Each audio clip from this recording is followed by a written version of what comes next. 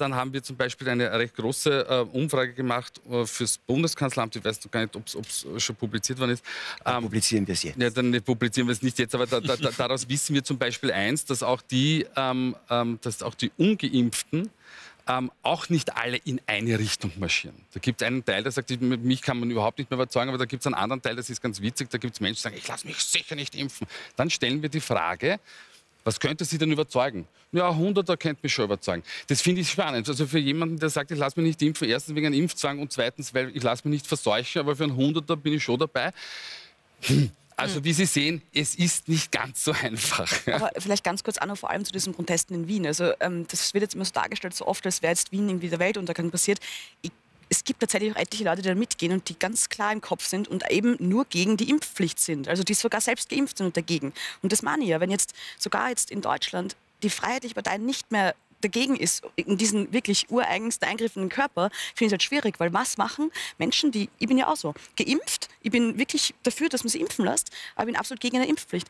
Wo gehen diese Menschen jetzt noch hin? Vielleicht wollen sie demonstrieren, wollen aber eigentlich nicht mit den Querdenkern mitlaufen. Also da geht irgendwie was verloren, man muss sie einem Lager zuordnen und das sind doch auch Menschen und viele dabei, fühlen sich dann auch ungerechtfertigt einem Lager zugeordnet. Ne? Das kommt ja genau, und dann kommt eben Olaf Scholz und hat gestern diesen eigenartigen Satz von sich gegeben, dass irgendwie die Gesellschaft eh einer Meinung sei in Corona-Dingen. Also die ist gar nicht gespalten. Und da frage ich mich schon, wo er wohnt. Äh, naja, eh, aber die, die, lassen wir das Wort gespalten weg sagen wir, es gibt ähm, unterschiedliche Sichtweisen darauf und dann gibt es in, in manchen Bevölkerungssegmenten, kommt es zu einer, na, Verfestigung ähm, der, der, der, der, Einstellungen und in ganz kleinen Segmenten zu einer Radikalisierung. Da meinen aber, Sie jetzt Twitter? Ja. Nein, da meine ich sehr nett.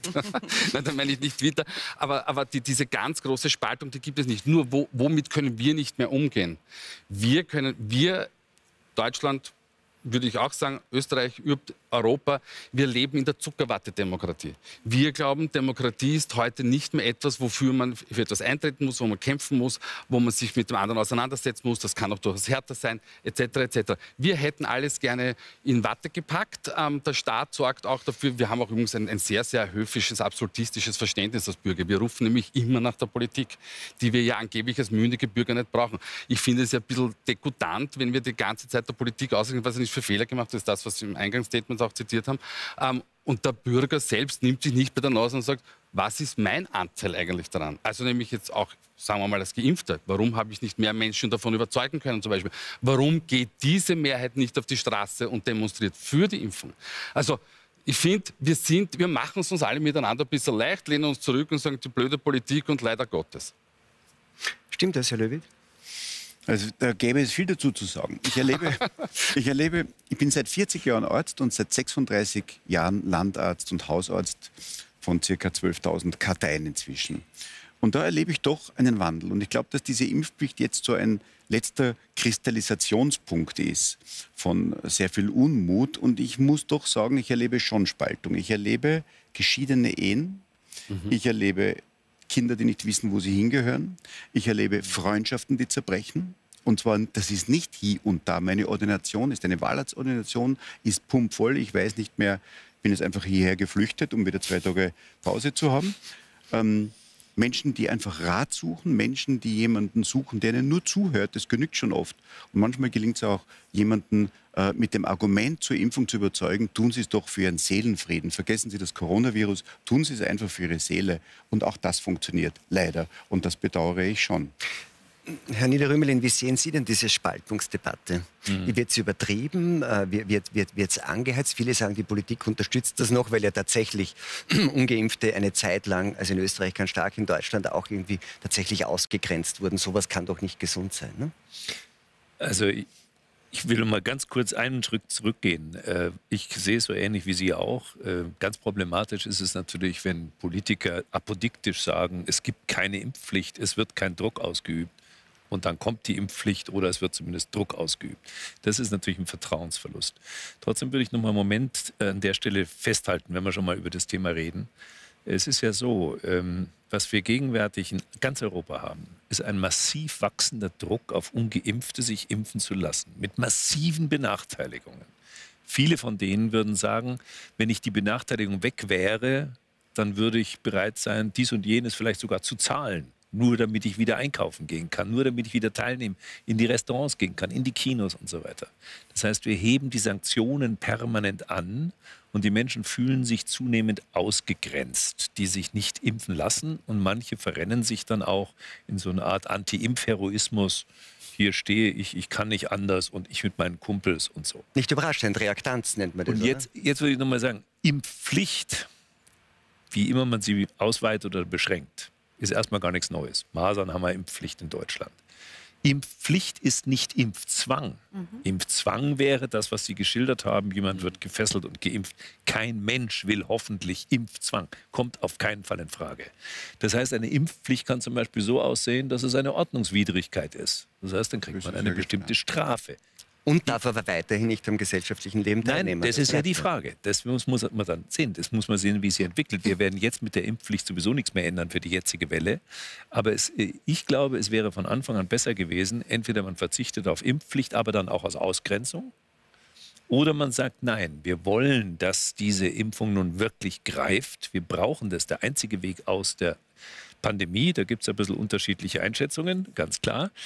Wenn man das so sieht, dann ist, glaube ich, befriedend eine allgemeine Regel, meinetwegen 70 plus oder 60 plus oder wie auch mhm. immer, eine allgemeine Regel, die sanktioniert ist, jetzt nicht mit Gefängnisstrafe, sondern mit halt Ordnungswidrigkeit. Da kriegt man wie bei übertretener Geschwindigkeit eine Straf, eine, eine, eine Ordnungswidrigkeit, muss man dann entsprechend Bußgeld zahlen.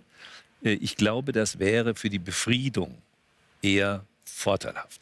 Und jetzt komme ich zu Ihrer Frage mit der Spaltung. Die Spaltung ist ja nicht geimpfte, ungeimpfte, sondern die Spaltung, die wir erleben, ist wechselseitiges Misstrauen der Menschen untereinander, nicht nur gegen die Politik, sondern auch untereinander, mit zum Teil ähm, widerlichen Formen der Diffamierung, der Herabsetzung, der Beschimpfung. Und das nimmt massiv zu. Da spielen die Social Media nochmal eine ganz besondere Rolle, weil das geht so ungefiltert geht das da durch. Und das, dieser Stresstest, äh, ich meine, man kann sich fast wundern, dass das die europäischen Gesellschaften halbwegs gut überstanden haben. Wir haben einen anderen Stresstest gehabt in den späten 20er, frühen 30er Jahren. Der ist anders ausgegangen. Ja, äh, diesen Stresstest, den sollten wir nicht ewig fortsetzen. Äh, und deswegen letzter Satz, bin ich der Meinung, wir müssen noch mal drüber reden, was ist eigentlich das Ziel? Das Ziel muss meines Erachtens sein, nicht No Covid, nicht wir kriegen das weg durch Herdenimmunität. Dann heben wir das die Hürde immer höher an, vor allem wenn noch Omikron-Variante noch infektiöser ist, sondern das Ziel muss sein, die Belastungen auf ein Niveau zu drücken, das erträglich ist. Und das ist mit relativ mäßigen Maßnahmen erreichbar. Also es geht ja immer darum, dann auch jetzt in einer ethischen Diskussion darüber, es ist ja immer geboten, das gelindeste Mittel einzusetzen, um ein vernünftiges Ziel genau, zu erreichen. Das. Jetzt ist es so, dass in Deutschland jemand Gesundheitsminister wird, der eher, wenn man so will, auch zu einer radikalen Position neigt in all diesen, in all diesen Corona-Fragen. Äh, Karl Lauterbach ähm, der ja auch ein sehr starker Verfechter wie immer von sehr radikalen Maßnahmen ist und letztendlich auch immer dem widersprochen hat, wofür Sie persönlich auch seit Beginn der Pandemie sehr stark standen, nämlich zu sagen, wir können nicht immer mit allgemeinen, für alle gültigen, harten Maßnahmen reagieren auf etwas, was doch so eindeutig so unterschiedliche Risikofaktoren hat das setzen wir jetzt ja eigentlich bei der Impfung fort, dort, wo wir mit den Schutzmaßnahmen es auch schon gemacht haben. Mhm. Glauben, glauben Sie, dass, dass dann wirklich Karl Lauterbach die richtige Wahl ist, zu sagen, an der Spitze des Gesundheitsministeriums steht jetzt jemand, der nicht diesen differenzierten Zugang hat, sondern eigentlich in fast jedem einzelnen Fall für die Radikalvariante ist? Also sagen wir so, ein Karl Lauterbach macht natürlich nicht jetzt die Gesundheitspolitik für die ganze Koalition, äh, sondern das ist die Bundesregierung insgesamt. Äh, ich habe mich auch gewundert über die Wahl, weil ich hatte mir eigentlich vorgestellt, die ganzen Pannen waren ja nicht so sehr Pannen der Fehleinschätzung, sondern organisatorische Pannen, Politikversagen, die Schließung von Impfzentren, wenn man gerade mal dabei ist, die Boosterimpfungen eigentlich wieder hochzufahren, weil man die israelischen Erfahrungen hatte. Äh, das Zulassen, dass 8000 oder 6000, je nachdem, wie man es zählt, Intensivbetten in der Pandemiekrise verloren gehen, ohne dass da viel geschieht. Jetzt kommt der bayerische Gesundheitsminister und sagt, wir könnten das Nettogehalt verdoppeln des pflegenden Personals jetzt, ja, im zweiten Jahr der Pandemie. Äh, ja? Also ich war ja mal in der Politik. Ich würde sagen, das ist handwerklich, handwerklich schlecht gemachte Politik. Und da stellt sich natürlich für mich schon die Frage, ist jemand in der Lage, ein Gesundheitsministerium zu leiten, der noch nie eine Behörde geleitet hat. Ich habe mich gewundert über diese Entscheidung. Ich hätte gedacht, da kommt jemand, die oder der, wahrscheinlich eher die, aufgrund des Versprechens von Scholz Parität zu schaffen, äh, die Erfahrung hat mit der Leitung eines Ministeriums und dann hätte man seinen Sachverstand ja trotzdem als Staatssekretär zum Beispiel einbinden können mit speziellen Zuständigkeiten. Das ist das Stichwort Sachverstand, weil es sagen ja auch viele, ein Teil des Vertrauensverlustes besteht darin, dass man dann in der Politik nicht Fachleute hat. Sie haben die besten Köpfe äh, angedacht. Da stellen sich viele vor, also Gesundheitsministerium ist ein besonders guter Arzt und weiß ich nicht, im Wirtschaftsministerium ist ein besonders irgendwie erfolgreicher Unternehmer und im Kulturministerium ist ein besonders erfolgreicher Kulturmanager oder Künstler. Äh, stimmt das? Ist es, ist, ist könnte man durch äh, eine stärkere Konzentration von Experten in den Regierungen und Verwaltungen das Vertrauen wiederherstellen oder, oder, oder, ist, oder steckt da auch wieder eine Gefahr drin? Also sagen wir mal so, in den Ministerien gibt es ja nun Kompetenz. Das ist zwar ein bisschen einseitig, weil das ist eine sehr stark juristische Kompetenz, aber schon auch Sachkompetenz. Äh, schadet nicht, wenn eine Ministerin oder ein Minister auch von dem Fachgebiet Ahnung hat. Aber es ist in der Tat nicht das Primäre weil das Themengebiet ist so umfassend, dass es fast ausgeschlossen ist, in all den Teilgebieten sich auszukennen. Das heißt, es geht im Wesentlichen darum, Sachverstand zu mobilisieren und vor allem Kooperationen hinzubekommen zwischen Parlament und Regierung und dem hm. Ressort und mit Verbänden und so weiter. Das ist eine spezielle Begabung, die nicht alle haben, die sich sachlich gut auskennen. Wir haben jetzt in Österreich auch einen Arzt, das Gesundheitsminister. Haben Sie den Eindruck, dass es viel hilft? Das kann ich noch nicht beurteilen. Es hat sich nicht Wesentliches geändert. Ich glaube einfach, dass wir viel zu wenig diskutieren und viel zu wenig Fragen stellen. Nämlich die Fragen, wie könnte ein gesellschaftlicher Konsens ausschauen, mit dieser Pandemie umzugehen? Wie könnte ein gesellschaftlicher Konsens ausschauen, die ein oder andere Maßnahme äh, zu forcieren oder abzuschwächen? Äh, das fehlt mir einfach und äh, ich bedauere außerdem ganz enorm, dass die Kinder und Jugendlichen, die letztlich doch die Zukunft der Gesellschaft darstellen, völlig unter die Räder geraten und eigentlich nicht thematisiert werden, auch heute nicht thematisiert werden. Ähm, die werden gegurgelt und getestet und weggesperrt und dürfen wieder und dürfen wieder nicht und zerbrechen daran. Glauben Sie mir das? Ich erlebe das. Nur Zahlen, die, glaube ich, unbestritten sind. Zehnmal so viele Selbstmordversuche. Niemand spricht darüber. Das ist keine Meldung auf den Schlagzeilen unter Jugendlichen. Es wird schon sehr viel gesprochen. Es sprechen jetzt auch wieder viele, aber umgekehrt darüber, dass die Jugendlichen, obwohl die Zahlen das nicht so richtig hergeben, so gefährdet werden. Das heißt, die waren vor einem Jahr die Gefährder, wurden damit belastet, dass sie möglicherweise dafür verantwortlich sind, dass sie die Großeltern umbringen, wenn sie das Virus nach Hause bringen. Und jetzt plötzlich sind sie die Gefährdeten und müssen deswegen zu Hause bleiben, damit sie das Virus nicht kriegen. Großeltern sagen ja meistens, bitte lasst unsere Enkelkinder zu uns. Lieber sterbe ich an dem Virus, als dass ich völlig ausgegrenzt werde aus dem sozialen Leben.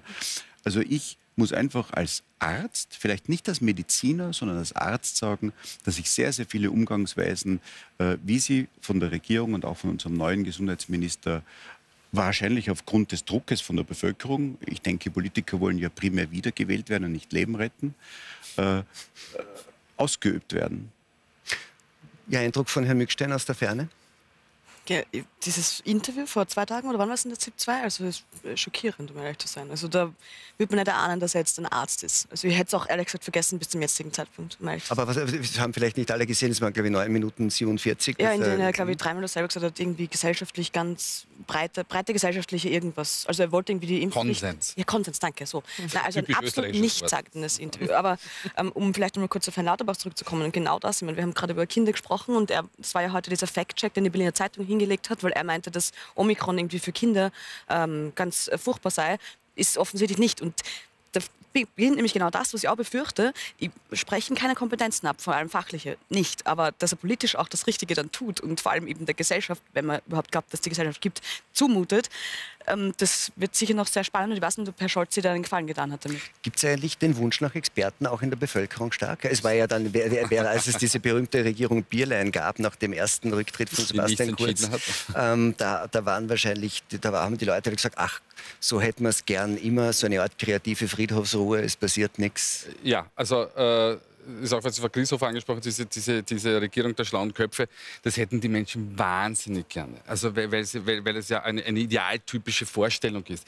Ich glaube, es ist sogar auch ein bisschen geprägt durch die, die, durch die eigene Schulzeit auch noch, wo, wo da vorne ein Lehrer, eine Lehrerin gestanden ist und, und, und, und die Welt erklärt hat. Und das hätten die Menschen wahnsinnig gerne. Da bin ich wieder beim höfischen Absolutismus, dass wir alles nach oben delegieren wollen. Ähm, das, das ist das eine. Das zweite ist, was man in, insbesondere in Österreich noch wahnsinnig gern hätte, und das hören wir, glaube ich, in jeder Fokusgruppe, sitzen dann immer die Menschen und sagen, naja, so, das Gescheiterste wäre nicht nur eine Expertenregierung, sondern das Gescheiterste wäre eine Konzentrationsregierung. Und dann machen die Roten das Sozialministerium, die Schwarzen machen die Wirtschaft, die, die Neos machen die Bildung, die Grünen machen die Umwelt und die Freiheitlichen natürlich das Innenministerium und Sicherheit. Und dann sind wir alle wunschlos glücklich. Und wir haben natürlich diesen Drang, das, was Sie ja vorher angesprochen haben, das hat mir sehr gut gefallen, nämlich dieses, dieses, dieses Harmoniestreben, das jetzt massiv, massiv gestört wurde. Und zu dem streben wir aber wieder. Deshalb bin ich ja kein Cassandra-Rufer Rufer und sage, es wird schon wieder gut, wenn auch die Wunden in der Gesellschaft werden wieder geheilt Aber werden. Da bin ich äh, neugierig, ob die Wunden heilen, weil es gibt ja auch sehr viele. Ähm. Ja, weil ich wollte, ich wollte jetzt trotzdem zu Frau Grieshofer kommen, weil das war ein. Ähm, ich bin ja ein Liebhaber der Übergänge. Wenn Gäste die Also, Übergänge ermöglichen, Ja, dann, dann, dann springe ich da sofort auf, weil es wird schon wieder gut werden, haben Sie gesagt. Ich glaube, für manche wird es eben nicht wieder gut, äh, nämlich für Sie zum Beispiel nicht.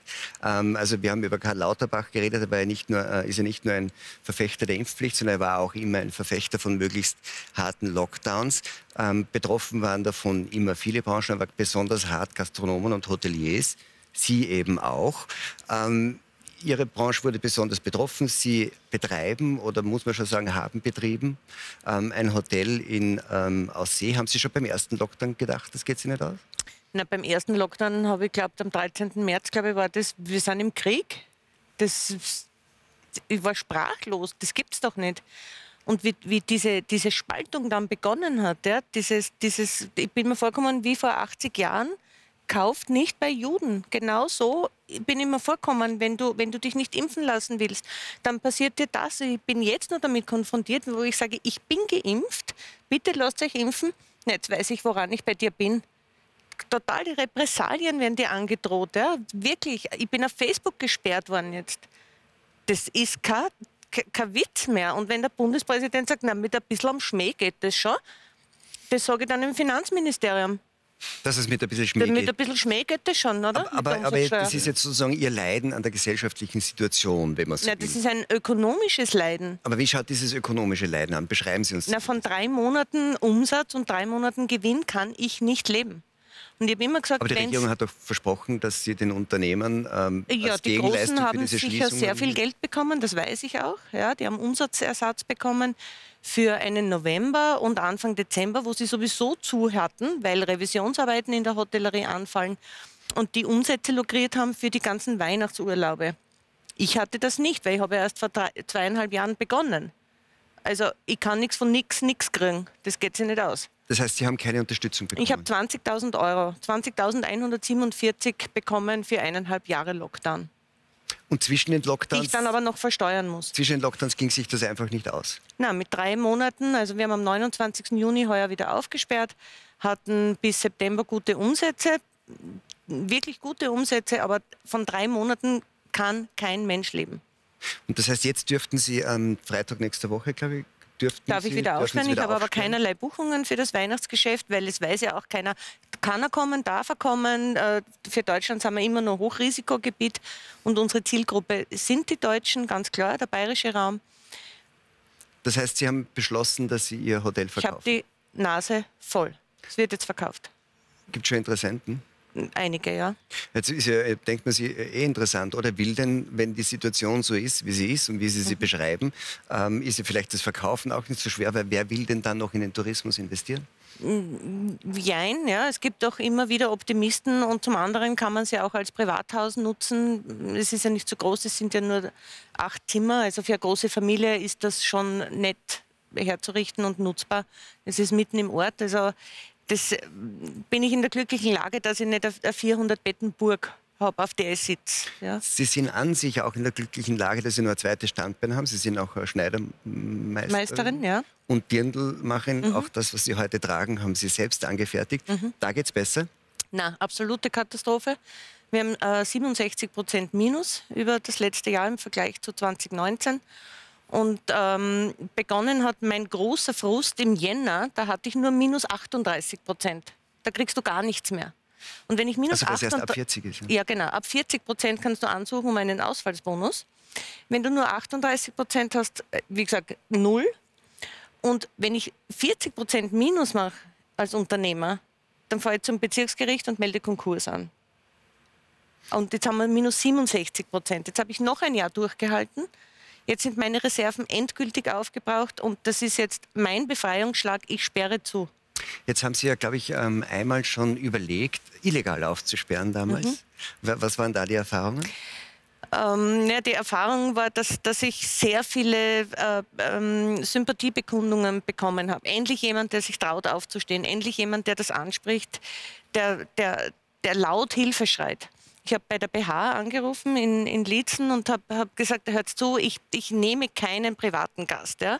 Das ist eine PR-Aktion, das ist ein Hilfeschrei. Vielleicht hört mich jemand, vielleicht nimmt bitte jemand ernst. Wissen Sie, was die gemacht haben? Die haben mir die Polizei geschickt. Mein Tenniskollegen. Die Polizisten waren überfordert mit der Situation. Die müssen mich kontrollieren, durften natürlich nicht ins Haus. Sie haben ja keinen Durch Durchsuchungsbefehl oder keinen schriftlichen irgendwas, keine Ahnung. Nur ein E-Mail von der Bezirkshauptmannschaft. Sag ich, dann tut es mir leid, dann dürft ihr mein Haus nicht betreten.